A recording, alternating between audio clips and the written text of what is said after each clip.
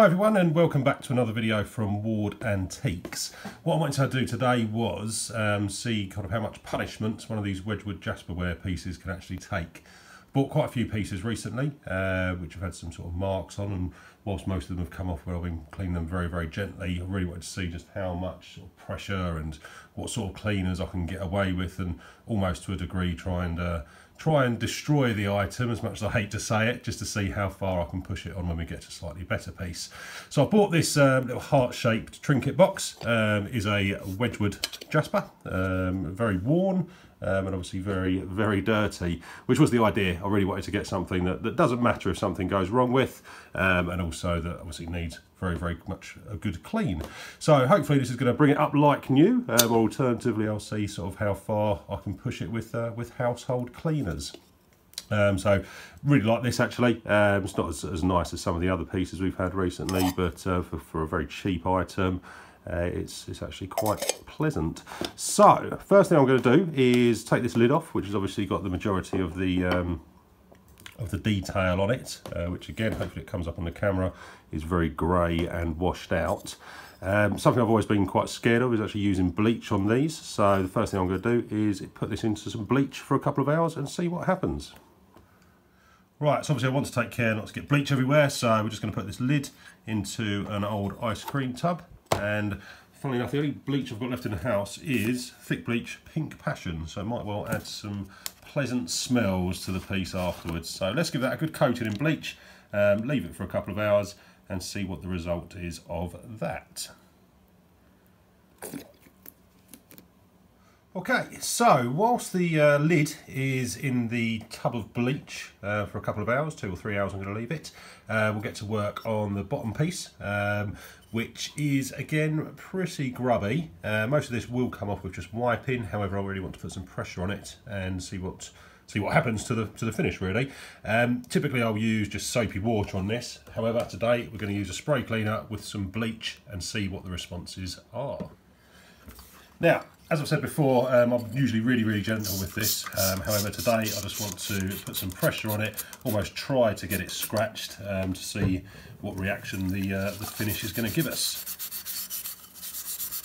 So, as you can see, it quite quickly um, takes the, the marks off. Um, so really I'm going to have to put some effort into actually try and really damage the piece. Um, as I say, when I want to, to sort of clean up one of my better pieces, I want to see how far I can push it uh, without actually damaging it um, fully. So there's quite a deep mark here, um, hopefully that sees on the camera, which again, usually I'll be a little bit too scared to actually put some serious pressure on to clean off. Um, but from what we can see so far, with the scouring side, um, that has actually lifted that quite nicely. And the finish whilst it's wet at least, looked un, undamaged altogether. So I spent quite a bit of time cleaning up the bottom piece um, and actually putting some real pressure into it and not taking any care at all. Um, it's nice to see that the majority of the marks have actually come off, or pretty much all the marks have come off, um, and there's no damage done to the Jasperware. So there's one more test I wanted to do, which I will show you now. And that test is to use a really, really coarse brush and a bleach pen um, to see if we can get some damage done to the jasper Jasperware with this. Okay, so we're going to use the bleach brush onto some of the white detail here.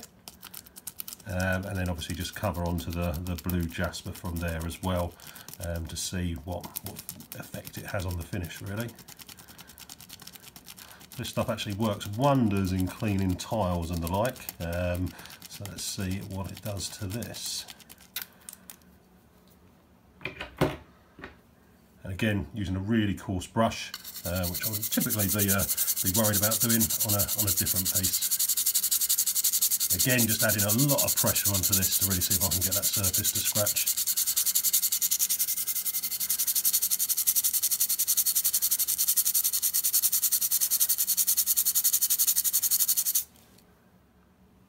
Right, so I've gone all out in, um, in washing onto that and brushing onto it. Um, so just rinsing it off and we'll see what difference it makes.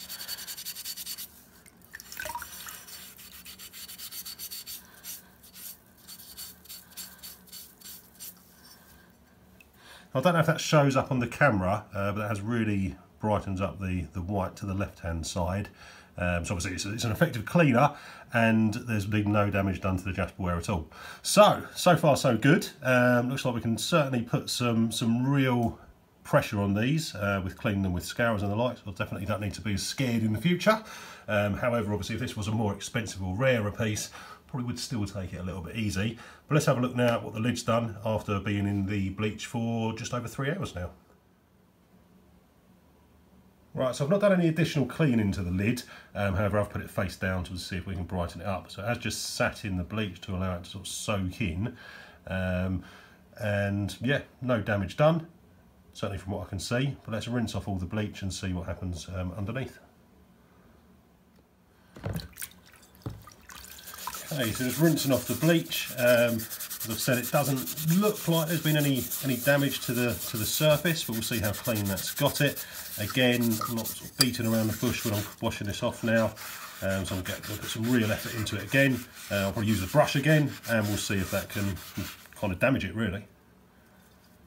Right, so this has sat in bleach for three hours. Um, had a really, really hard scrub uh, with the scourer and a mark on it. And again, it's nice to see that all the uh, all the dirt from before has been lifted as well.